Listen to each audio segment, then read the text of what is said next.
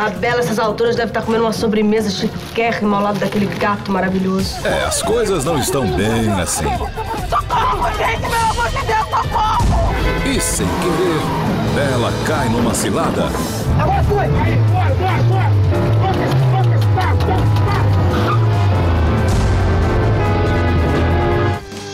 Bela, a feia.